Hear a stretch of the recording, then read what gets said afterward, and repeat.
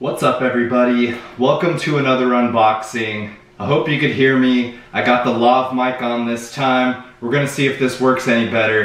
Let's get to unboxing. First one, here we go. I'm gonna go with, uh, I think there's a couple of My Hero Academia figures out there. And as well, I'm gonna go Star-Lord. I got those Star-Lords too, maybe even the Captain America. Let's go Star-Lord first. Star-Lord, we got it! Yes, I knew it was true. There's the Star-Lord. Let's take a look at the play. So I figure I just need to lift that edge up for the prize to be tipped up enough to fall into the chute. Let's see if it works. Right here. Perfect placement and in. Two plays, that's all it took this time. Free figure. And as well, the very first time I was able to win from this particular setup. I know it's a lot like the normal platform game with the sticky bar in front. Definitely a lot harder because of those D-clips. Awesome. First Star-Lord. There's got to be another one somewhere.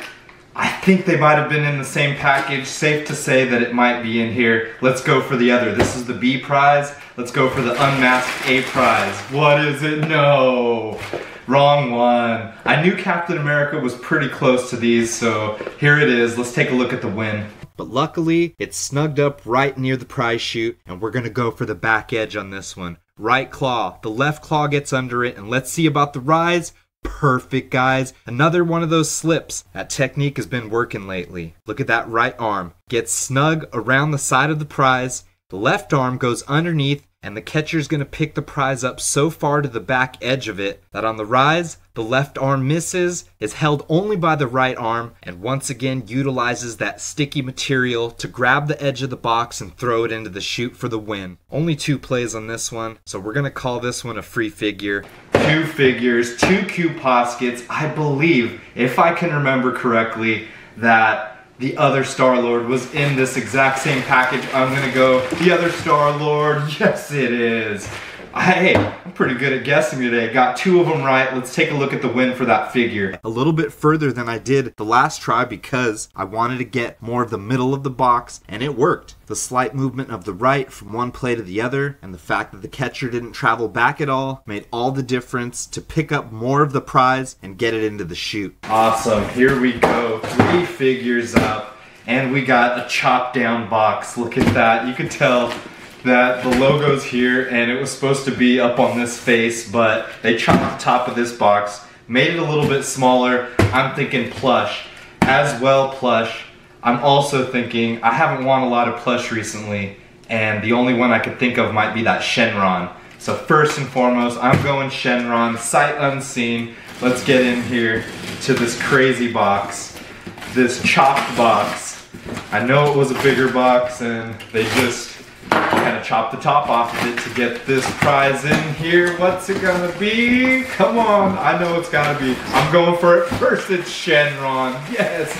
I don't know if I'm gonna keep this one or not. It's a really cool plush, but maybe someone will enjoy it even more than I will. It's pretty unique plush, look at that, unbox in an unbox. There's Shenron, super long plush.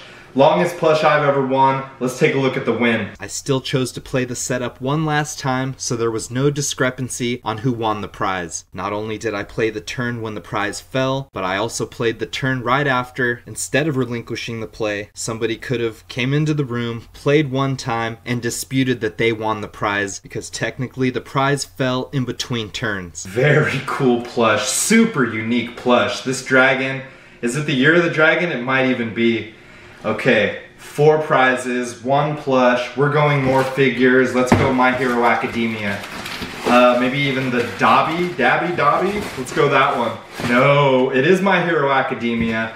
But we got Denki, Kaminari. Let's take a look at the win. Looks like it's going to drop the box in between the platform and the bar, but no, there's enough momentum and as well a perfect positioning of the corner of the box on the platform still had enough momentum for the box to topple over the bar and into the chute. A lot of these figures were in the Toreba's Too Easy videos. Check those out if you haven't. Okay, last one. There should be three prizes per box. Basically, that's what I get sent every time. That way I get two free plays, the big order. Let's go My Hero Academia. Not even quite sure which one. Uh, don't know. My Hero Academia. Come on. No, it's not.